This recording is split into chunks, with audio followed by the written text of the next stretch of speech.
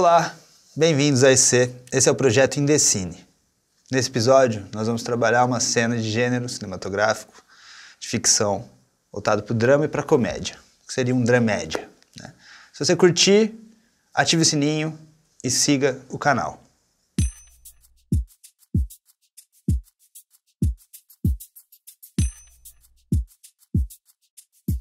Antes da gente abordar a situação, abordar o material e trabalhar ela dentro do software de montagem, acho que é interessante a gente pensar um pouco sobre a ideia de montagem em si, que isso ajuda a gente a trabalhar, a se apropriar desse material, se relacionar com ele. A montagem ela começa pelo plano, né? pelo próprio recorte do plano, pela própria decupagem, já no próprio pensamento do roteiro, de uma certa forma, do jeito que você imagina aquela situação sendo contada, né? E aí você imagina isso em quadros, em planos quando você lê aquilo. Isso implica na decupagem da situação. Mas o plano em si, que é o que a gente trabalha, o que a gente recebe, ele tem um ritmo, uma organização, uma encenação, né? uma movimentação entre os agentes que estão em cena, uma aproximação de distanciamento. Isso tudo implica no corte, isso tudo implica na precisão do que a gente quer colocar, onde começa e onde termina a situação.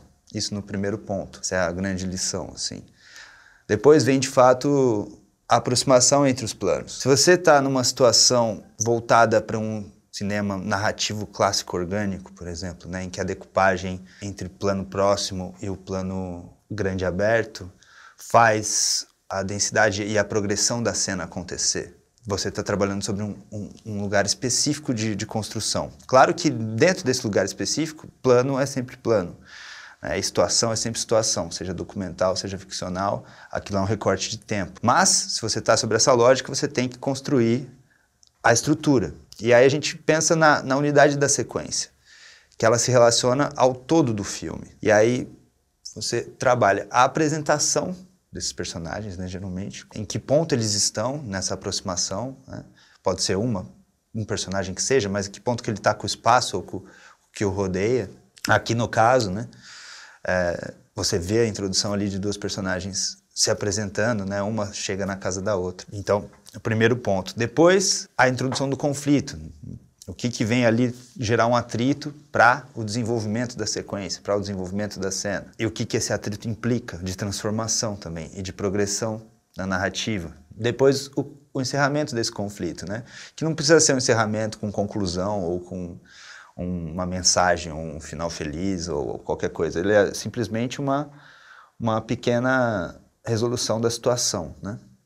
Essa unidade de sequência, de alguma forma, ela, ela se relaciona com a própria estrutura do filme, que também pensa a apresentação, desenvolvimento do conflito e, e, e conclusão na sua estrutura macro. Né? Então, é como se a, a sequência ela fosse um, um micro do macro, né? um espelho dessa estrutura macro, nesse tipo de cinema, né? que a gente constrói o tempo de alguma forma na montagem. E isso é, isso é fundamental para esses dois gêneros, né? drama e comédia. O jeito que você trabalha o tempo, o jeito que você trabalha a resposta, o jeito que você trabalha o corpo no espaço, né? principalmente para comédia, só a gente lembrar do, desse, desse cinema corporal do Buster Keaton, do, do Chaplin, depois do, do Jack Statt, dentro do espaço, né? e o que isso traz de de construção de comédia também. Né? Volta também o nosso pensamento para dentro do ritmo do plano.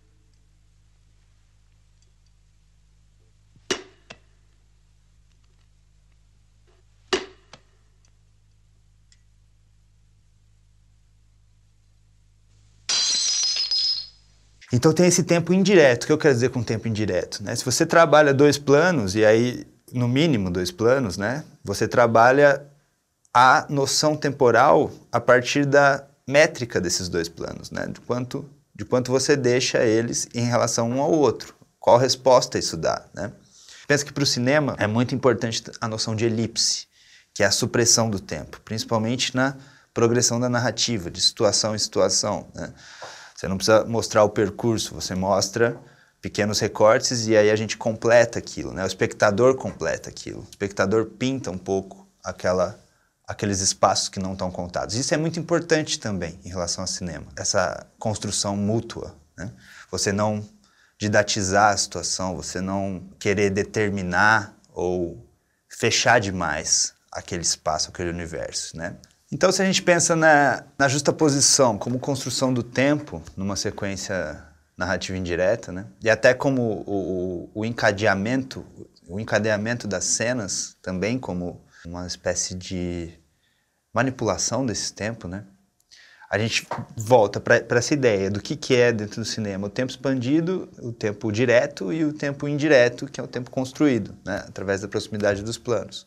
Ora, se eu estou trabalhando a métrica né? entre um plano, dois planos próximos, eu estou trabalhando ali a construção desse tempo. Aqui nessa situação a gente está muito mais voltado para um, um tempo indireto, né, onde a proximidade e a dinâmica dos personagens dentro da situação implica na relação entre eles, no que, que eles vão exprimir, no que, que eles vão é, colidir também, né? dependendo da situação em si. Né? Pensa que essa proximidade, esse distanciamento, diz muito sobre o estado das personagens em cena. Né? o momento ali também. Né? Se você está enquadrando o conjunto, é porque o conjunto, de alguma forma, tem uma, uma sensação, tem uma dinâmica. Né? Por exemplo, a cena de introdução aqui são duas personagens na sala, né? uma situação introdutória, uma situação ainda de eh, reconhecimento. Né? Então, a, aquela sala, aquele plano que não se aproxima ainda né, das personagens, ele tateia elas com, com um pouco de distância, até chegar depois a troca que, que o plano próximo coloca que aí implica um momento de mais é, intimidade com, a, com, com, o rosto, né? O plano próximo ele se relaciona muito com o rosto também, né? Ele vem nessa urgência de trazer a atuação, né? tão cara ao cinema hollywoodiano, que foi meio papa dessa estrutura, né? voltar para o rosto do, do personagem, né? E isso também coloca a gente, a montagem, como uma, uma percepção muito grande da atuação nesse sentido os pequenos gestos da verdade, da honestidade no, no, que, se, no que se diz, no que se fala, nesse, é, nessa sensação do que é verdadeiro ali, verdadeiro no sentido de honestidade do que se coloca. Né? Tem uma cineasta Jodorowsky tem uma ideia legal sobre a proximidade e distanciamento do plano, que é assim, se você pensa numa árvore, num parque, é, num plano geral isso, né? Então você vê a luz do sol, você vê o vento, você vê os personagens correndo no fundo, né? Isso tudo tem um ritmo, uma dinâmica. Se tem um personagem que vem dessa situação, ele está inserido nisso, né? Aquele momento dele faz ele estar tá inserido nisso. Isso também implica na precisão que a gente vai determinar a entrada e a saída, o corte, né? Qual que é a cena em si. Se a gente vai até aquela árvore que está ali perto do personagem, coloca o nariz na árvore e abre o olho, você vai ver o craquelamento, você vai ver a seiva, a formiga, né? Isso implica uma outra noção em relação àquela, àquele espaço, àquela situação. Né? O plano próximo, ele tem um caráter até às vezes revolucionário para a sequência. O detalhe em si, né? Não o plano próximo do rosto. O plano próximo do rosto ele tem voltado para a emoção.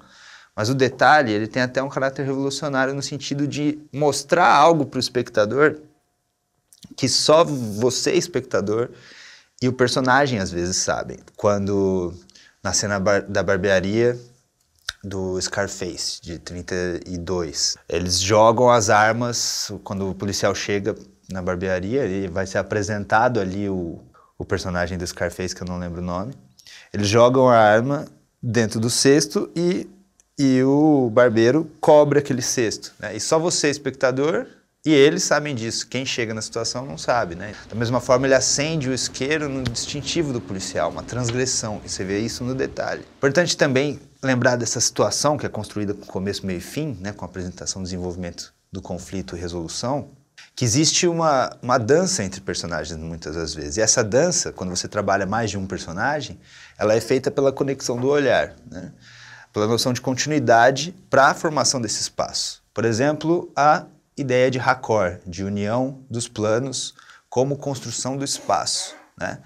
E aí vários tipos de união, né? Pode ser pelo movimento, né? O movimento que você faz de uma cena, mas que na junção do, do próximo plano espaço né? Parece uma coisa contínua, te dá a impressão de uma coisa contínua, né? Ou a ideia de você olhar para um outro personagem, né? E ter um contato visual, o que implica na construção do eixo, né? Aquela noção de 180 graus do meio círculo, da linha do olhar que você traça entre dois personagens, né? Muitas vezes, numa situação, é uma dança entre esses dois personagens, né? É, que vai sempre se relacionando pelo olhar. E aí os planos se colocam em relação a eles, se eles se movimentam, né? e esse eixo muda, talvez você tenha que ver isso num plano conjunto para não criar uma confusão entre em relação ao espectador, né? Ao, ao que a gente está vendo, uma confusão desse espaço, uma quebra desse espaço não desejada, porque muitas vezes a quebra ela é desejada, né? Você pega, por exemplo, uma situação do Amor à Flor da Pele, do Wong Kar Wai, né? É, tem uma situação ali no jantar que os, os personagens estão em crise, né? São dois amantes. Né? E, e aí você vê a conversa, né? Você vê o eixo central do olhar entre eles, né? Do lado de um lado da, da situação. E aí você vê as duas câmeras de, contra, de plano e contraplano do outro lado, numa quebra de eixo. Só que como ele delimitou esse olhar num único plano e colocou os dois planos próximos do outro lado, apesar de a gente sentir uma estranheza, essa estranheza é cabível, né? Ela se faz construir ali e cria uma relação muito grande com o que os personagens estão sentindo. Caso ele tivesse colocado uma próxima de um lado e outra próxima do outro, estaria invertido e os personagens olhariam para o mesmo lugar e, e mesmo ele tendo traçado o plano geral de uma forma mais inventiva, quebrando o eixo ali, ele mantém o eixo na troca do plano e do contraplano, né? Nesse esse ritmo de troca entre eles.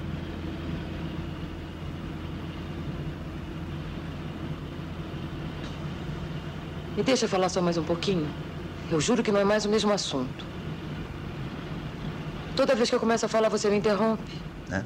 Então é muito importante a gente entender essa dança, entender esse lugar da, da proximidade, do distanciamento do conflito dos personagens através do olhar e através do movimento corporal. Né? Isso implica em quando, em saber quando usar um plano próximo, quando usar um plano mais aberto, né? Porque você tem essas opções na montagem, né? Você tem essas opções ali colocadas. Muitas vezes a situação ela, ela vai, ela vai, ela segue né, até um certo ponto, né, e, e no próximo plano que, que tem uma outra característica, essa situação é repetida. Mas você tem que identificar com, na montagem o foco daquele plano, qual, qual parte do texto está construído para o plano, pro plano específico que você está trabalhando. Né?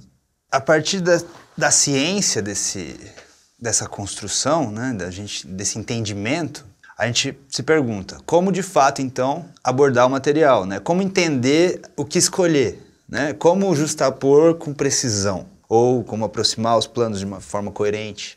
E a verdade é que quanto mais anos você trabalha é, você tem uma experiência em relação àquilo, né? Você cria uma intimidade com o próprio processo, mas também existe o frescor do, do, primeiro momento, tanto em relação ao que se mostra no plano, quanto em relação ao profissional mesmo, né? De ter algumas saídas ali criativas também. E o processo de montagem ele é feito junto com a direção, né?